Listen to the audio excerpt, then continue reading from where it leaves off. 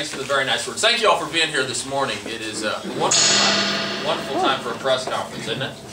That's a, turns out nice sound effects too, Gary. Well done. there, there, there's a reason that we picked 8 a.m. on a Sunday. I think it's the only two times. It's the only time we can find that Scott and I are in the same place at the same time. Jamie and I are actually going to jump in the vehicle and head over to, to Denver to watch the Denver Broncos a little bit later uh, this afternoon. But it is a pleasure to be with you um, uh, under these circumstances, and I am honored uh, to be here and stand here with you uh, to join you in endorsing the next governor of the great state of Colorado, Scott McInnis.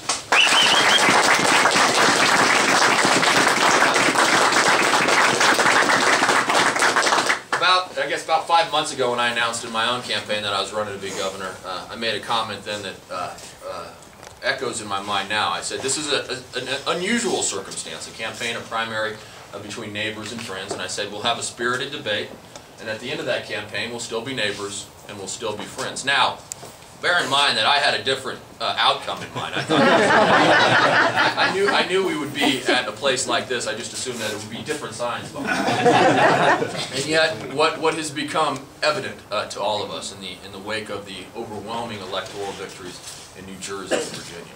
What's become clear to me, what's become clear to Scott, what's become clear to so many people who have been working um, hour after hour behind the scenes in the last couple of weeks to bring our party together around a common governing vision is that Republicans have an unprecedented opportunity, truly unprecedented, maybe once in a generation, to retake ground, to retake the state of Colorado for our party, and more importantly, for the values that our party uh, stands for when we're, when we're at our best.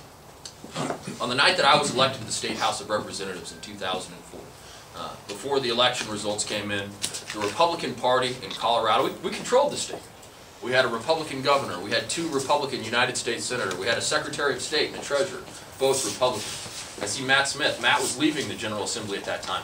The State House of Representatives was controlled by Republicans, as was the Colorado State Senate. That night, everything changed.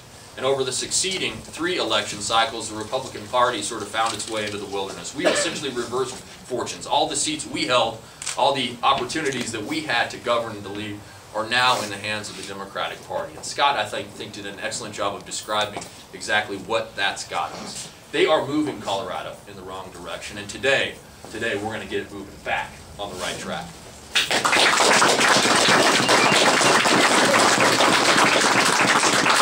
And, that, and that's why, uh, in obviously a little disappointed the race didn't work out, but that's why for me it was clearly the right decision to make because this race is bigger than personalities, it's bigger than people, it's bigger than egos, and it's bigger than personal ambitions. This, this race matters. Whether Bill Ritter is the governor for four more years or not fundamentally matters. Colorado will be profoundly different if Bill Ritter is governor. He's taken us down the path to the state of Colorado, California.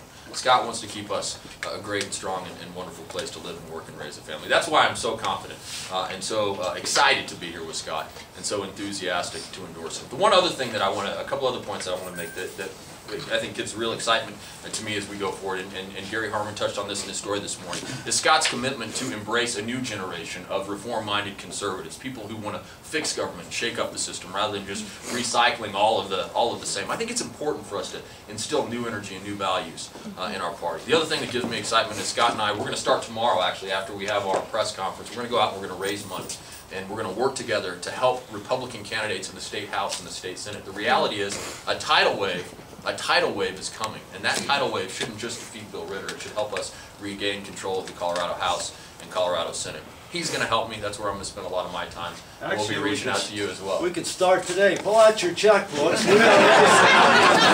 We got to get this done. God, I've got those envelopes right over Senate House Fund. We're going to put the work on it. So, the, and, and, just sort of in closing, uh, thank you all for coming here. And many of you faces out there were supporters, financial supporters. You knocked on doors. You made phone calls on our behalf. Here's what I would ask of you uh, hear Scott out, give him a chance, and, and ultimately do what I'm doing here, and that's standing with him, and let's make him the next governor of this great state of ours. Thank you very much.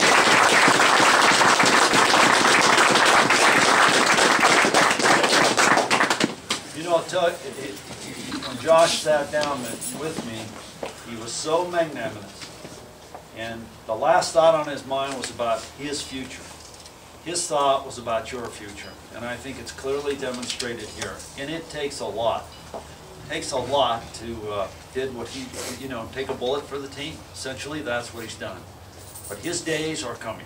Yeah. And in the meantime, our days leading you in this state, and we will go back to what we, that's right, we'll all be there. And by the way, I'll be there too, Lori will be there, our whole team. So Lori and I, we're thrilled to have you over here, and you and Jamie have a safe trip today, and this means an awful lot. We're honored and privileged to have that endorsement. Thanks Thanks again.